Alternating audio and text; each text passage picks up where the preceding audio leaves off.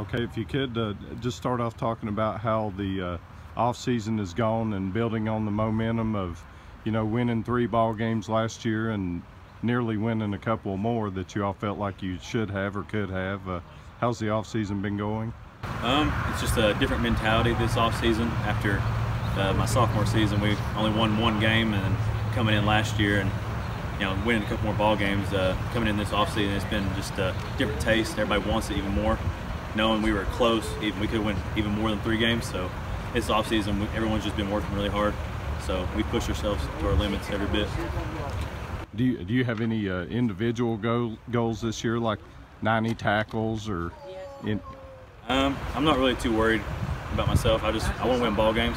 I want to be the senior class that can just keep on building on the last senior class. That's my biggest goal.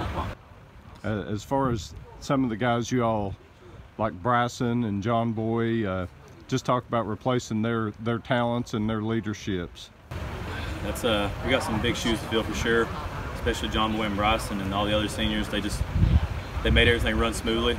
Bryson, I got to fill his shoes on defense, and John Boy, he's going to be a big key on the offense that's going to be missing. But we got some guys stepping up that's going to make a big difference, and uh, I think we'll be just fine. Who who are some guys that maybe haven't had a significant role in the past that this could be their coming out party this year?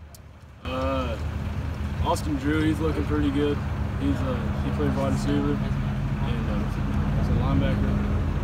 He's looking alright this year. what is it, uh, uh, Coach Bennett? It seems like every year that your all's place is one of the places where the players have more pep in their step or I mean you can tell guys really seem to like playing for him. Is that the case? Yeah he, uh, he brings a lot to the table for sure. Um, as a coach he, uh, he knows always what to say keep us motivated. He's uh, he's definitely changed the program up here for sure. What do you think with the the quarterback position this year? It I mean it looks like maybe two guys could help there. Yeah, uh, we got Daniel Sherrill, and then we got uh, John Boy's uh, little brother, Landon Ramsey. Uh, they're both going to play big roles this year. And right now, I mean, Sherrill, I think, is our QB1. He's older. He's got some experience. Uh, he's a big defensive guy for us as well. So I think they're both going to – it's going to be a fight, and I think we're going to be able to use both of them this season you each way.